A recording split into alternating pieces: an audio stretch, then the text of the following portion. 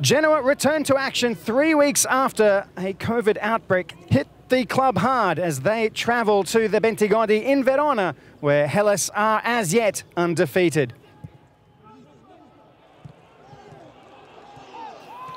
One appearance for Atalanta last year for the German.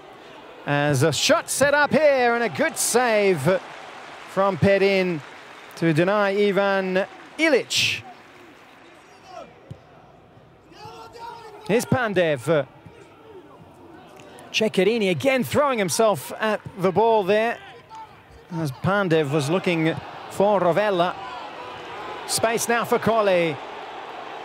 End-to-end stuff here at the Bentegodi as Colley in the box. He takes a shot, it's a weak one, and straight at uh, Perin.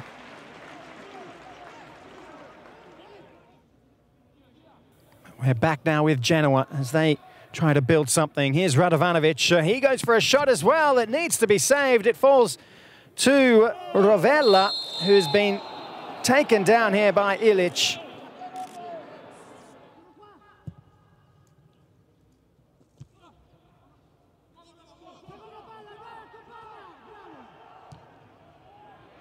Here's a chance now, though. Pandev still going. Pandev! And Silvestri parries it away. The best chance of the first half falling to the visitors on 33 minutes. Goran Pandev uh, brilliantly picked out there by Shomurodov. He had a shot and it was parried away.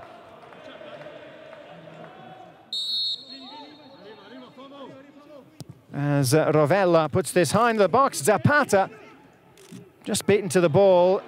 And now Colley, plenty of space here. Still going Colley, he's got Badelj to beat. Colley with the shot and a brilliant save from Mattia Perin. Diving to his right.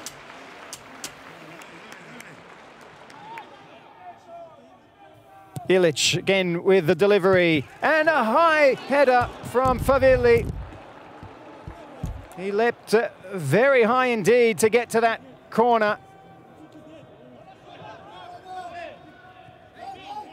Rovella gets it to Badelj. As Tameze picks his pocket, uh, gets the ball to Colley. Chance now for Verona. Here is uh, Favilli, but the shot is saved. Perin.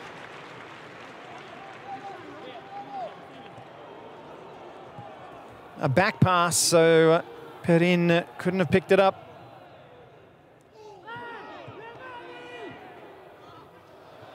And it's fallen fortuitously here for Favilli. He's found Colley. Colley on his left. And it's Perin again who makes the save when he needs to. Tameze.